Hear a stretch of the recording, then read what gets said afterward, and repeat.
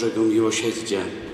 Święta Faustyna w dzienniczku, którym opisuje spotkanie z Jezusem, tak pisze: Nie znajdzie żadna dusza usprawiedliwienia, mówi Jezus do niej, dopokąd się nie zwróci z ufnością do miłosierdzia mojego.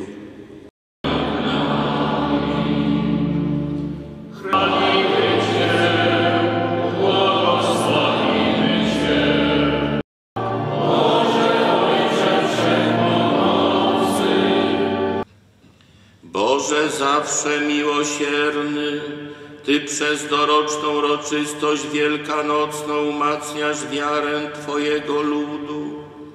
Pomnóż łaskę, której udzieliłeś, abyśmy wszyscy głębiej pojęli, jak wielki jest chrzest, przez który zostaliśmy oczyszczeni, jak potężny jest duch, przez którego zostaliśmy odrodzeni.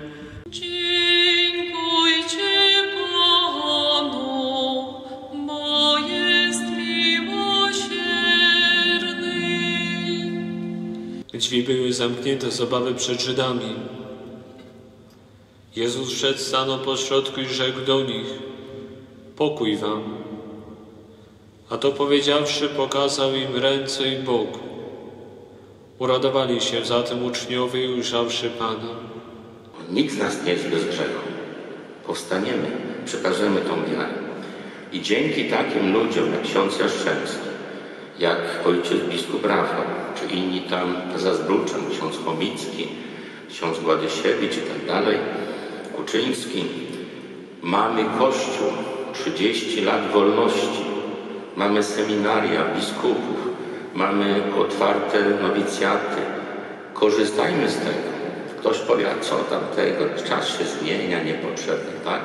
I co? I przyszła pandemia ogólnoświatowa. I człowiek jest bezradny, nie wie co robić. Patrz na obraz Bożego Miłosierdzia, patrz na te strumienie, promienie, które płyną.